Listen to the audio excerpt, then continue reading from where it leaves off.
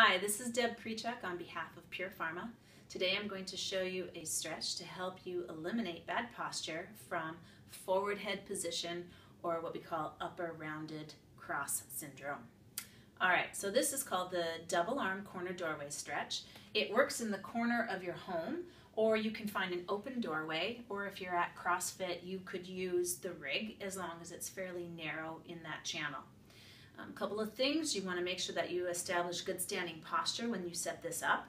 It's important that you do not work through old symptomatic pain, only muscular discomfort that's unfamiliar to you.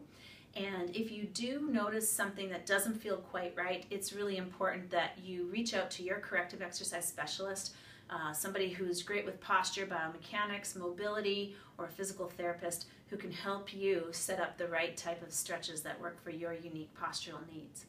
All right, this exercise is fairly simple to perform. You're going to do a 90 degree position from the shoulder, the arms straight up overhead, and the arms down.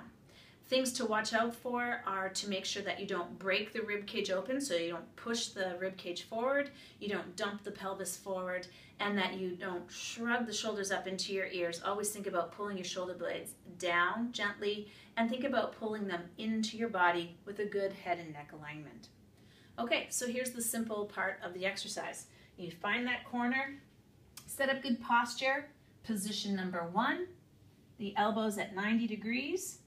Position number two, the arms are overhead. You can do a variation by turning from the shoulder joint and the thumbs are placing out, drawing the scapula down. The third option is the arms down by your sides. You might have to step into the wall a little bit closer um, to work on that stretch.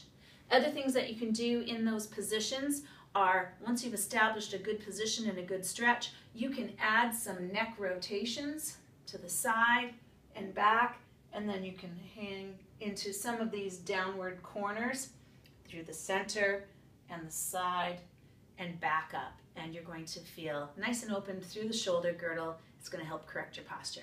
If you have any questions, please reach out. I'd love to be able to answer any questions that you might have. And if you are trying this stretch, it's new for you, please leave us some feedback and let it know and let us know how it's going. Okay, thanks for watching.